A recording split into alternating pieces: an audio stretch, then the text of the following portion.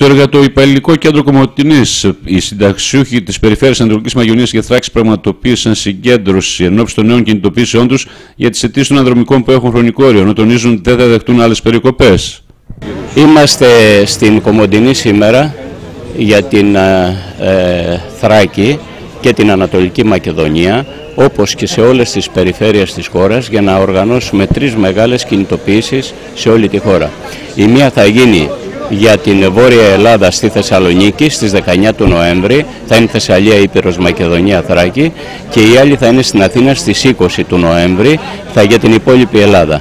Θα πραγματοποιήσουμε επίσης μια μεγάλη συγκέντρωση πανελλαδική από όλη την Ελλάδα στις 15 του Δεκέμβρη στην Αθήνα και θα πάμε στο Πρωθυπουργικό Μέγαρο. Διεκδικούμε ό,τι μας έχει αφαιρεθεί.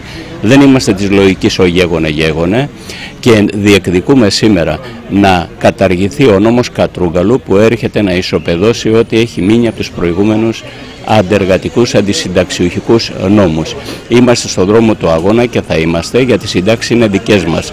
Δεν τις δανειστήκαμε, δεν τις χρωστάμε σε κανένα δανειστή, δεν μας τις έδωσε καμιά κυβέρνηση. Είναι χρήματα πληρωμένα με το αίμα και τον αγώνα της ζωής μας και θα τα διεκδικήσουμε μέχρι το τέλος.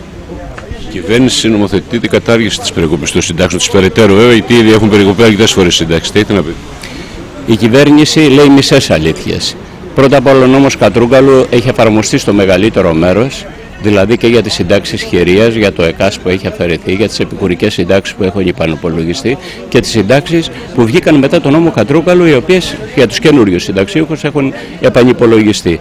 Μένει εκείνο το μέρος που είναι για τους παλιότερους συνταξιούχους. Εμείς δεν αφήνουμε κανέναν. Λέμε να καταργηθεί ο νόμος αυτός και η κυβέρνηση να σταματήσει να λέει ψέματα και να σταματήσει να παίζει προεκλογικά παιχνίδια με τις συντάξεις μας. Εμείς δεν θέλουμε ψίχουλα, δεν θέλουμε αναβολές. Θέλουμε να πάρουμε πίσω εκείνα που είναι δικά μας και μας τα άρπαξαν με την ιδέα.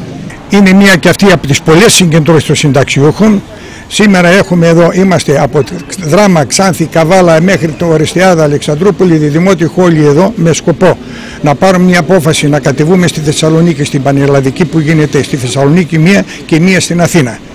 Και το κυριότερο από όλα είναι να συζητήσουμε για το θέμα των, αυτό που βγήκε τώρα με που βγήκε τα μέσα μαζικής ενημέρωσης που συνέχεια μας πιπιλίζουν, κάντε αιτήσεις, κάντε το ένα, κάντε το άλλο. Πολύ σωστά τα λένε οι άνθρωποι να κάνουμε. Πριν όμως έπρεπε η κυβέρνηση να μην ταλαιπωρεί 3,5 εκατομμύρια, 3 εκατομμύρια συνταξιούχους περίπου να τους ταλαιπωρεί με, με τις αιτήσεις.